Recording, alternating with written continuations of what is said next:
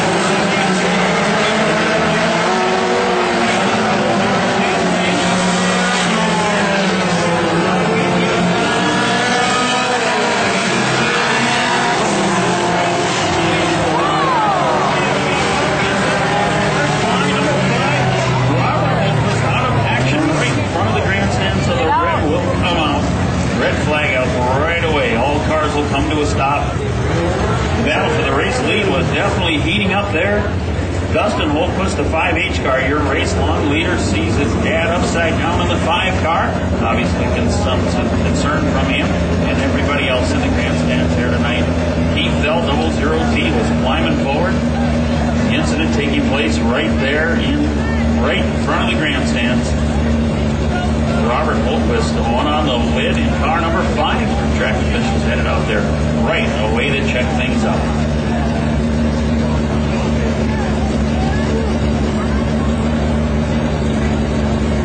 Looks like Brandon Lindquist climbing out of the number three car. Involved in that incident. Turn number one, Lindquist out of the car. Checking out the situation. Obviously concerned for Robert Holtquist in the five car who sits on the lid right now. But everybody headed out there to take a look at things. The officials involved. The guys in the shiny red trucks. That's Collins Brothers going Gold Cross ambulance service here.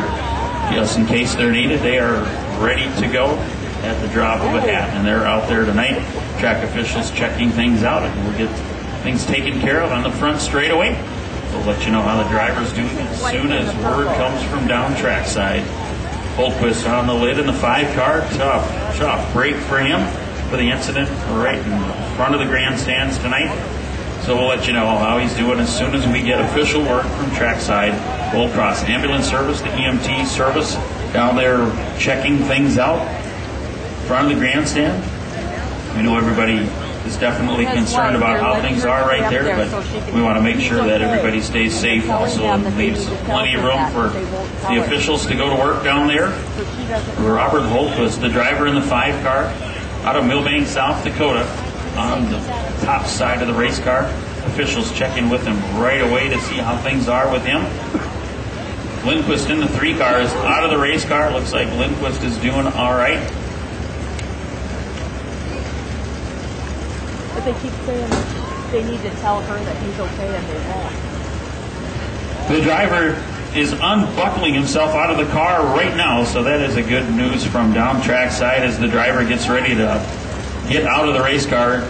Trying to unbuckle from being upside down has got to be one of the tougher things that you would ever try to do. They're buckled in there really tight, and to try to get out of there when you're upside down definitely is a point all by himself in 5H. All the way back to the double zero. Peyton